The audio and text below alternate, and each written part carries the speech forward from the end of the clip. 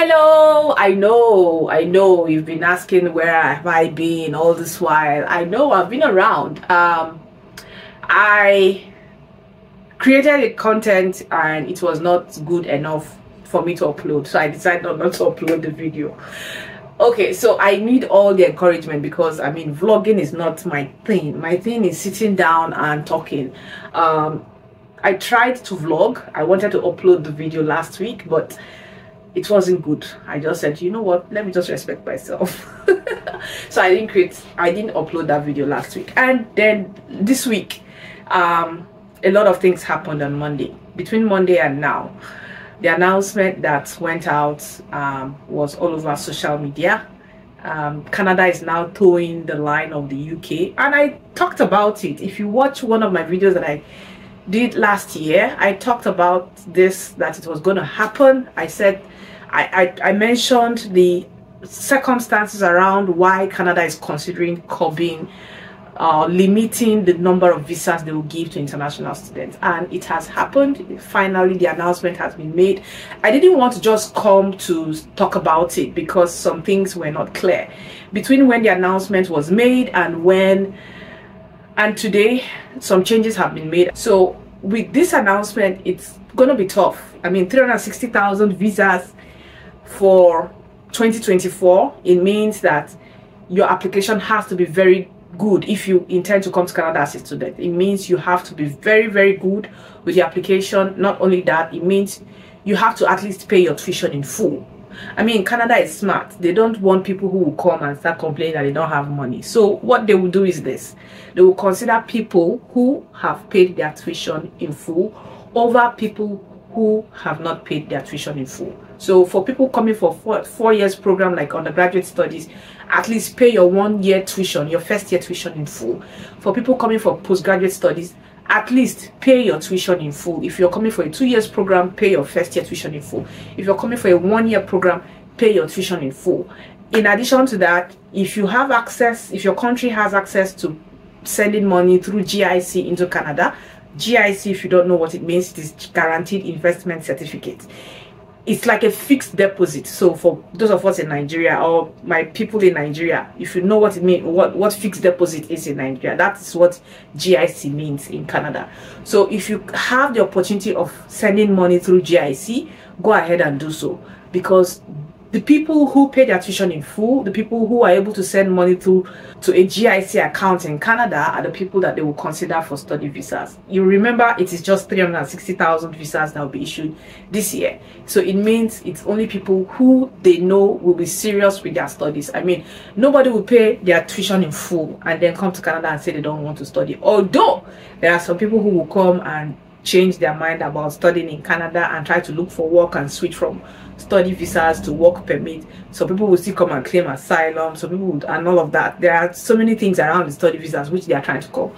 But then it is only people who have demonstrated capacity of paying their tuition in full and have demonstrated capacity of sending money into a GIC account are the people that will be considered for study visas.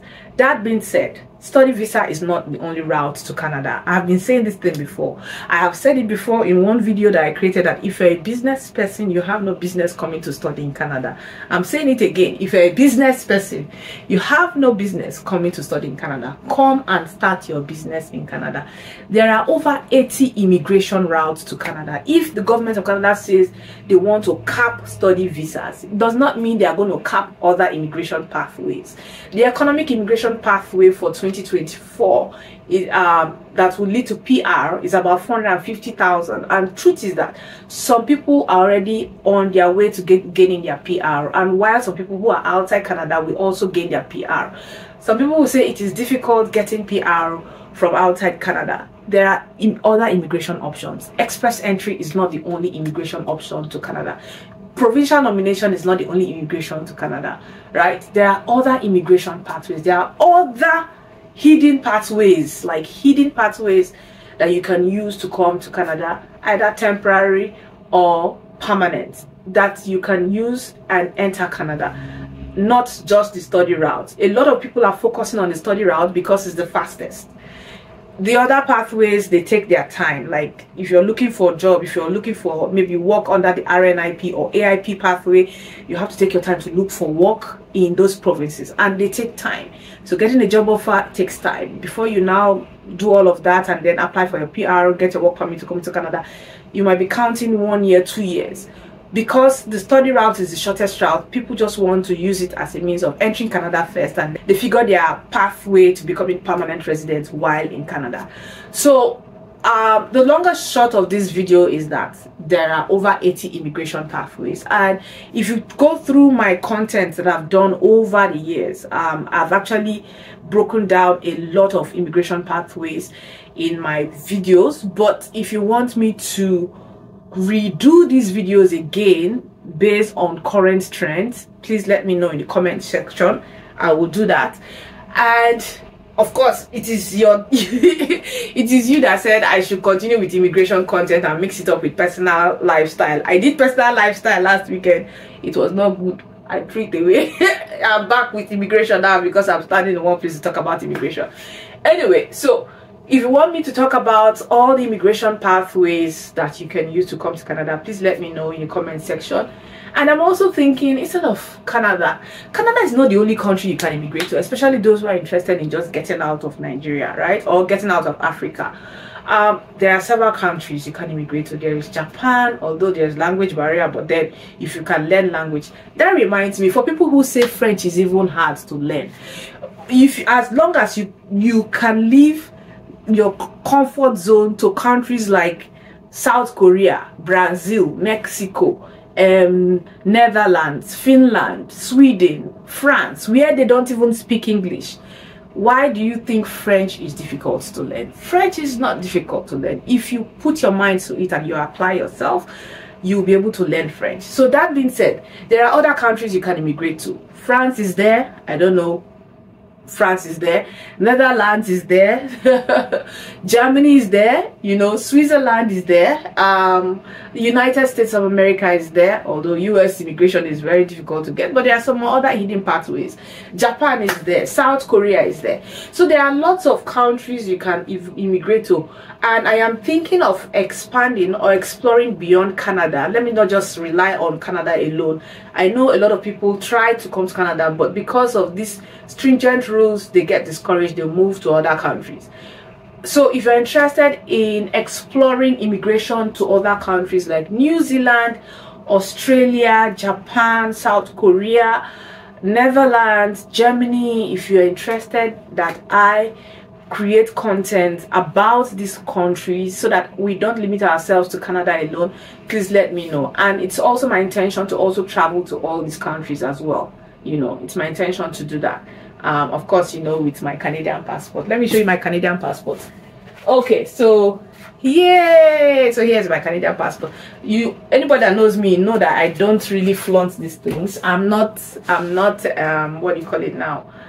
um i'm not a show-off person i don't show off things like this i mean anyway so if you feel i should talk about immigration to other countries um that can benefit people and the cost and all of that please let me know in the comment section so that i create content around these areas as well.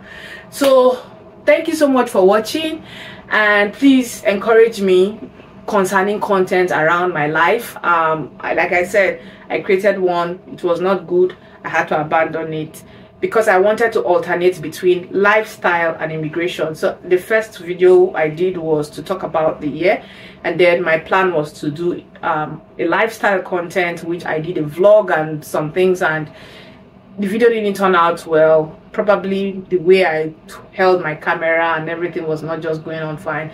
I just abandoned it. Then now I am back to immigration. So today's video is immigration.